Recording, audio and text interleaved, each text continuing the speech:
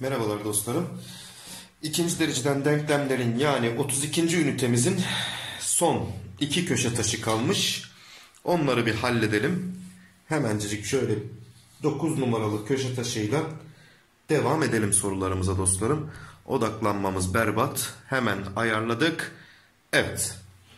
Diyor ki kökleri bilmem ne olan ikinci dereceden denklem aşağıdakilerden hangisidir? Dostlar bize kökleri veriyor denklemi kurmamızı istiyor dostlarım. Formülümüz şu. x kare eksi t x artı ç eşittir 0. Bir denklemin kurulma formülü budur. T dediğim şey köklerin toplamı, toplamları. Ç dediğimde köklerin çarpımıdır dostlar. E şimdi bize o zaman t için kökler toplamı lazım. Toplayalım hemen. T eşittir 3 bölü 4 ile 4 bölü 3'ü topluyorum. Payda eşit diyorum hemen. 4 ile 3 ile genişlettim bunları. Şöyle oldu. 3 kere 3 9 artı 4 kere 4 16 bölü 12. Yani toplamları 25 bölü 12. O zaman denklemi kuruyorum arkadaşlar. x kare eksi toplamları yani 25 bölü 12. X artı çarpımları. E çarpımları bunların kolay. 3 bölü 4 ile 4 bölü 3'ü çarpacağız. 4'ler gidecek, 3'ler gidecek, 1 kalacak. Yani artı 1 eşittir 0. İşte denklem budur arkadaşlar. Tabi denklem bu da kardeşler. Bakıyorsun şıklara hiçbir böyle rasyonel ifade yok. O zaman şu 12 paydadaki 12'den kurtulmak için denklemi ben komple 12 ile çarpıyorum. Bak 12 ile bunun çarpımı 12x kare. Demek ki denklem 12x kare ile başlayacak. Adana gitti, Ceyhan gitti, Edirne gitti. 12 ile şurayı çarpacağım. 12'ler gidecek. Eksi 25x kalacak. Eksi 25x olacakmış. Burada artı var. Bu da gitti. Cevap Bursa. 12 ile de 1'i çarparsam artı 12 de geliyor zaten. Eşittir 0. Evet. Geldim ikinci soruya denkleminin köklerinden biri bu olduğuna göre m artı n toplamı nedir? Dostum köklerden biri buysa birinci kök x1 e, kök 2 eksi 3 ise ikinci kök dostum bu kökün önündeki işareti ters çeviriyorsun eksi 2 oluyor. Eksi 2 eksi 3'tür diyebilirsiniz dostlarım diğer kökü içinde. Şimdi denklemi kuralım. Şöyle olmayacak mı? x kare eksi tx artı ç eşittir 0. t'yi bulalım önce toplamlarını. Toplarsanız bunları alt alta bak topluyorum. Kök 2'ler gidiyor. Eksi 3, eksi 3 daha eksi 6 geliyor. O zaman şöyle başlayacak. x kare eksi eksi 6x yani artı 6x'e döndü. Artı çarpımları. E çarpımlarını da yapalım bunların. Hemen söylüyoruz çarpımlarını. Bunlar birbirinin eşleniği olduğu için birincinin karesi ikincinin karesi. Kök 2'nin karesi 2. 3'ün karesi de e, 9 geldi arkadaşlarım. Arada da eksi var. Eksi 9. O zaman çarpımları da eksi 7 geldi. Eşittir 0. Bak demek ki şurası n. Şurası da n denilen şey. Bize de neyi soruyor? m artı n'i soruyor arkadaşlarım. Yani e, 6 eksi 7'yi soruyor kardeşler. Biz burada bir yerde hata mı yaptık? Tabii ki hata yaptık. E, şurada hata yaptık arkadaşlarım. Şunların yerini değiştirirsek e, ne gelecek? 3'ün karesi, kök 2'nin karesi tabii ki 9 eksi 2 gelecek. Orada hata yaptık. Artı 7 oldu burası. 6 ile 7'nin toplamı da ne yaptı arkadaşlarım? 13 geldi diyebiliriz sorumuzun cevabı. Geldim şuna olduğuna göre kökleri a ve b olan ikinci dereceden denklem aşağıdakilerden hangisidir diye soruyor bize. Şimdi hemen burada bir a artı b işin toplamları lazım bize. Yani a artı b çarpımları lazım. Yani a, a çarpı b lazım. Bunları bilmeliyim ben. O zaman diyorum ki arkadaşlar bak şuradaki a çarpı b'ler yok oluyor da nasıl şunu 3 ile çarparsam. Hadi bir çarpalım şurada. 3 ile genişletelim bunu arkadaşlarım. Şöyle olacak. 6 tane A artı B gelecek. Artı 3AB eşittir 72. Şunu aynen yazıyorum. A artı B var. Eksi 3AB var. Eşittir eksi 23. Toplayalım bir alt alta. 7 tane A artı B geliyor. Bunlar gitti. 72 eksi 23. 12'den 3 çıktı 9. 6'dan 2 çıktı 4. 49. 7'ye de bölersek A artı B 7. Yani toplamları 7 çıktı dostlar. Sıra geldi çarpımlarına. E toplamları 7 ise şurada hemen şuradaki A artı B yerine 7 yazalım. 2 kere 7 14. 14'ü bu tarafa eksi 14 olarak attım. 10 geldi. Çarpımları da 10.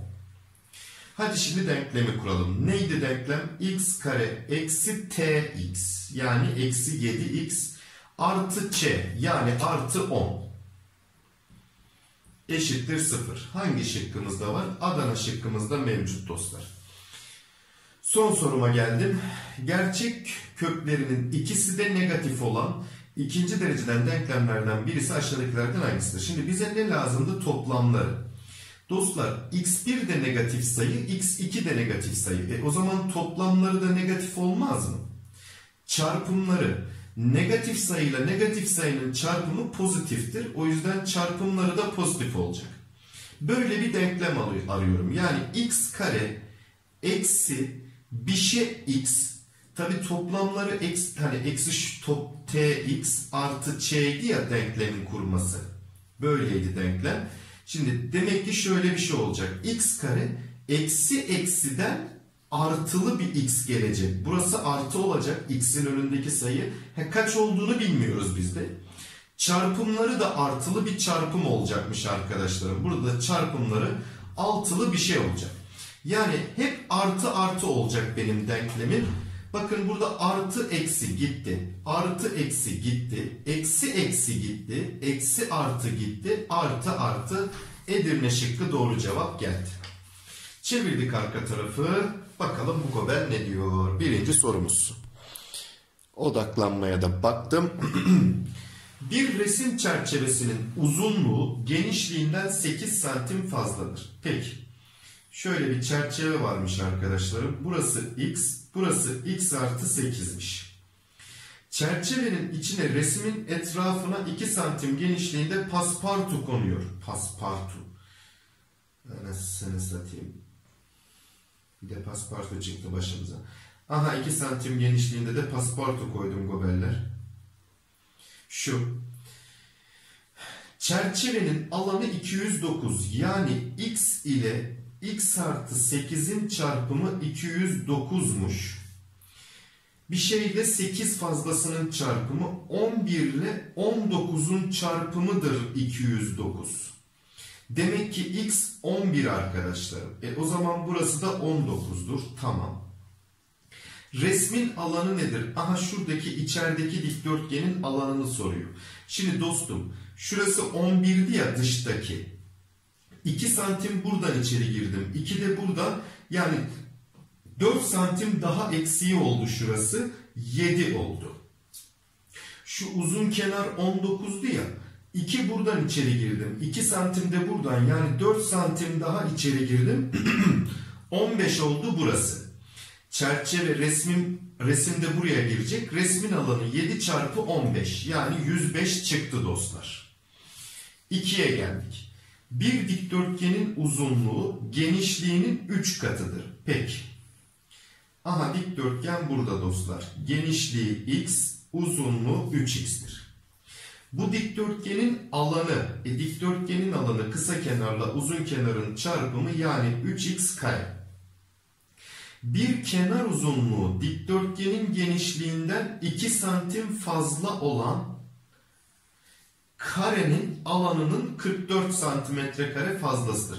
Şimdi bir kenar uzunluğu bunun genişliği x'ti ya bunun 2 santim fazlasıymış arkadaşlar. Bir kare varmış. Karenin de alanı neydi? Bir kenarının karesiydi. O zaman x artı 2'nin karesidir bunun alanı. Bununki de 3x kareymiş. Ve bu karenin alanından 44 santimetre kare fazlaymış bunun alanı. Yani 3x kareden ben x artı 2'nin karesini çıkartınca 44 kalıyormuş. E düzenleyelim burayı. 3x kare. Şimdi bunu açıyorum. Birincinin karesi, ikinci, birinci ile ikincinin çarpımının iki katı ve ikincinin karesi. E başında da eksi var. Eksi x kare.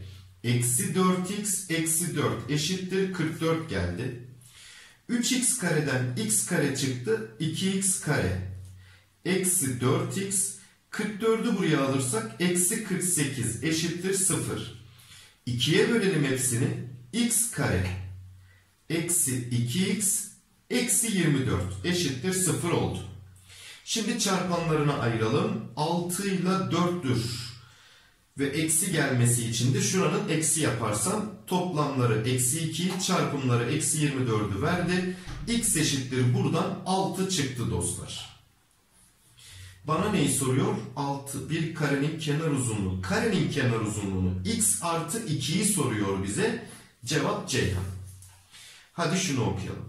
Bir tekne nehir boyunca 24 mil uzağa v hızıyla gidip v artı 2 hızıyla dönmüştür. Şimdi 24 millik uzağa gidiyorum. v hızıyla t sürede. Geri dönerken de aynı yolu yani 24 millik yolu dönüyorum. Ama v artı 2 hızıyla ne kadar sürede? 1 saat daha kısa sürede. Yani t eksi 1 sürede dönüyorum. Dönüş gidişten 1 saat daha kısa. Buna göre v nedir diye bir soru soruyor bize. Şu ikinci ifadeyi bir açmak istiyorum ben. 24 eşittir.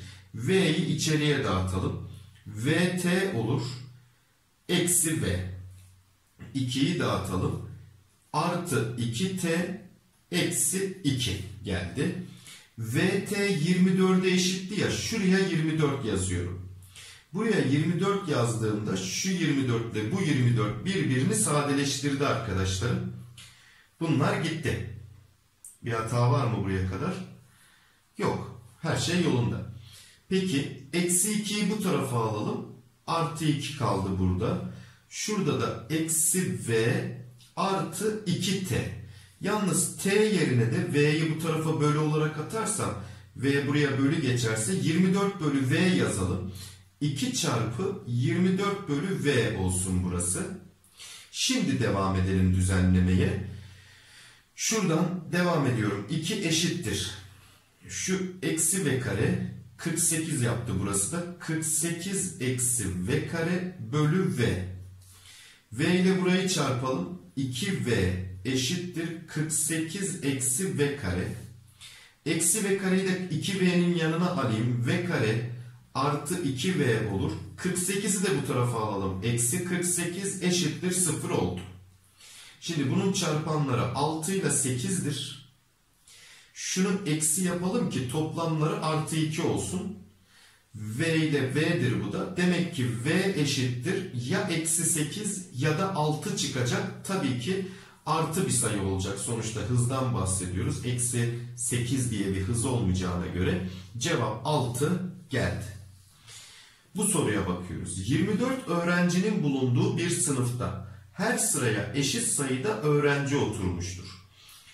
Peki o zaman şöyle sıra sayısını bulalım biz arkadaşlarım buradan. Şimdi kaç tane sıra var bilmiyoruz. Ama her birine x öğrenci, x öğrenci, x öğrenci oturdu. Kaç tane sıra olduğunu bilmediğim için n tane sıra diyelim. n tane sıraya x kişi oturduğu için nx kişi oturdu.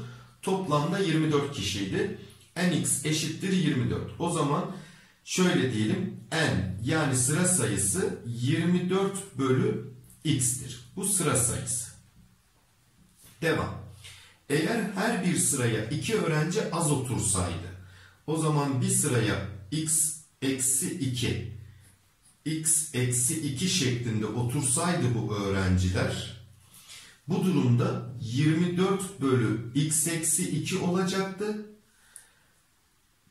Bir sıraya daha ihtiyaç duyulacaktı diyor arkadaşlarım. Bir sıra daha olacaktı. Yani şu bundan bir sıra daha fazla. Yani 24 bölü x'ten ben 1'i çıkartınca 24 bölü x eksi 2 oluyormuş diyebilirim o zaman dostlarım. Hadi burayı bir düzenleyelim. Şu x ile 1'i çarpıp buraya bir atalım bunu. 24 eksi x bölü x eşittir 24 bölü x eksi 2. İçler dışlar yapıyorum. Şöyle yapalım. Bir silgi alayım ben şuradan arkadaşlarım. Şurayı bir temizleyeyim. Öyle buraya yapalım bunu biz. Şurayı temizleyelim. Yere ihtiyacımız olacak çünkü. Evet. Odaklanmaya da bakayım. Tamam.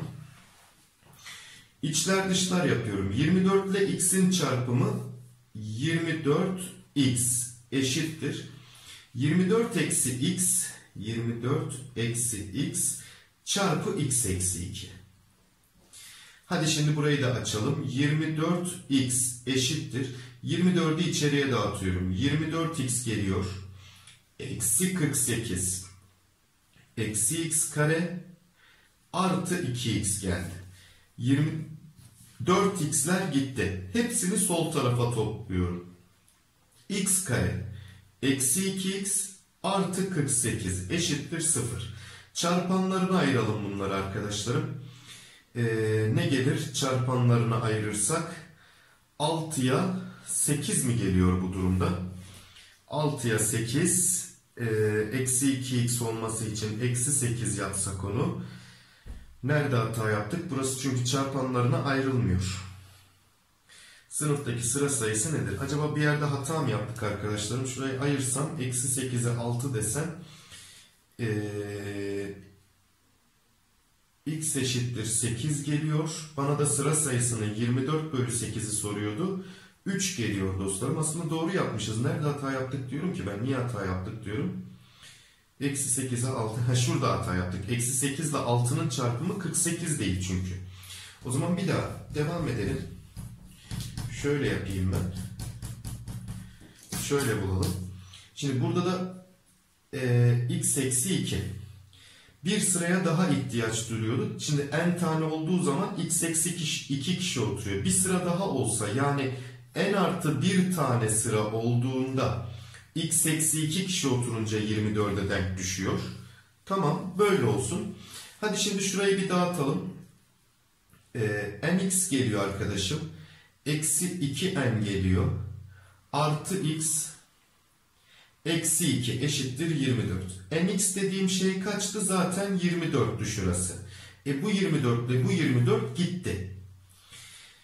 Ee, şöyle yapalım şimdi. 2 eksi 2n oldu burası. Artı x eksi 2 eşittir 0. n yerine de 24 bölü x yazalım. Eksi 2 çarpı 24 bölü x artı x eksi 2 eşittir 0 olsun. Düzenleyelim. x ile x'in çarpımı x kare. Şuradan da eksi 48 geliyor. Bölü x eksi 2 eşittir 0. x ile burayı çarpalım. x kare eksi 2x eksi 48 bölü x'i de buraya sıfırın yanına attım. Böyle çarpanlarını ayırdık. Şimdi eksi 8'e 6. Bak şimdi güzel oldu işte. İçimiz rahat rahat yapabiliriz. Demek ki x eşittir 8 çıkar. x 8 ise de 8 ile kaçı çarparsam 24? 3'ü. Demek ki sıra sayısı 3 taneymiş diyebiliriz arkadaşlar. Evet değişik bir sınıfmış burası da. Peki arkadaşlar hadi bakalım bu ünitenin de sonuna geldik. Bir sonraki videomuzda 33. üniteye geçeceğiz inşallah. Görüşmek dileğiyle kolay gelsin.